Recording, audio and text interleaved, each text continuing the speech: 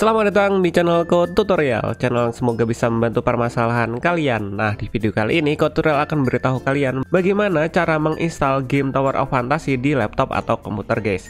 Nah, langsung aja yuk ke cara yang pertama. Cara yang pertama kalian buka yang namanya browser seperti ini.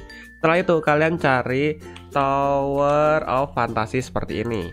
Nah, jika sudah kalian pilih yang ini, guys website resminya Tower of Fantasy yaitu yang tulisannya ini Tower of Fantasy official website. Nah ini kalian buka. Nah nanti kalian akan diarahin ke website resminya. Nah untuk bermain Tower of Fantasy Kalian harus yang namanya download dulu gamenya. Nah caranya download gimana?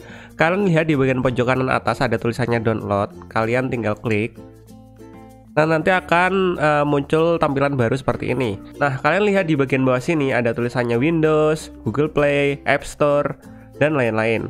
Kalau kalian menggunakan MacBook, kalian tinggal download aja di App Store. Tapi kalau kalian menggunakan laptop atau mungkin komputer Selain merek Apple, kalian bisa download lewat Windows. Nah di sini Kotoral bakalan download lewat Windows. Langsung aja kalian klik Windowsnya. Setelah itu uh, nanti akan ada aplikasi yang terdownload seperti ini. Nah, ini ada tulisannya TOF Mini Loader. Nah, kalau sudah terdownload seperti ini, kalian tinggal buka dan install. Kita tinggal buka. Nah, kemudian kalian tinggal install, guys. Nah, di sini kalian pilih lokasi installnya. Di sini tutorial bakalan langsung aja pilih install. Setelah itu kalian tunggu sampai proses instalasinya selesai.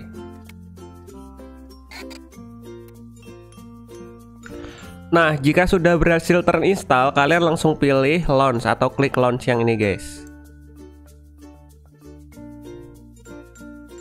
Nah, jika sudah, kalian tinggal masuk ke dalam akunnya, guys. Nah, di sini kontrol bakalan masuk ke akunnya dengan memasukkan email dan password.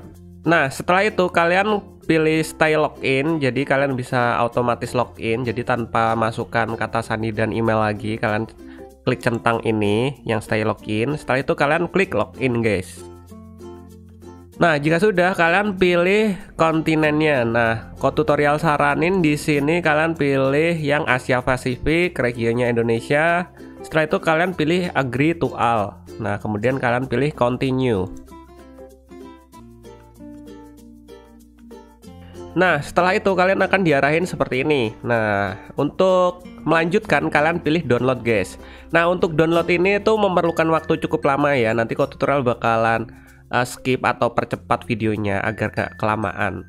Nah, nanti akan muncul seperti ini. Kalian pilih auto update, kalian centang auto update-nya. Setelah itu kalian pilih install guys. Jadi memerlukan 22 GB ya. Wah, lumayan lama nih. Nah, bayangin 21 GB belum termasuk update yang ada di dalam game Tower of Fantasy ini, guys. Nah, setelah terdownload, kalian langsung aja klik launch, guys.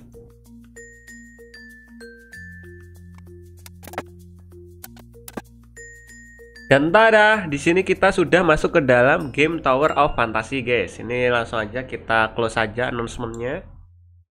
Nah, jika sudah seperti ini, kalian langsung klik aja tab tab anywhere to enter the game. Nah, ini kita klik aja di layar kosong.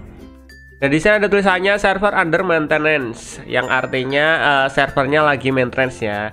Dan kayak gitu guys cara installnya game Tower of Fantasy. Kita klik OK dan kita tunggu sampai servernya selesai maintenance. Dan kayak gitu guys cara download atau install game Tower of Fantasy di laptop atau komputer guys. Dan mungkin sampai segini aja videonya kalau tutorial. Jika ada pertanyaan kalian bisa komentar di bagian bawah video ini. Di sini Kotutorial mau tunggu maintenance-nya selesai. Di next video, Kotutorial bakal ngasih tahu kalian bagaimana cara bermain gamenya. Nah, untuk keluarnya kalian pilih di bagian sini, di bagian gear. Setelah itu kalian pilih exit game, oke? Okay?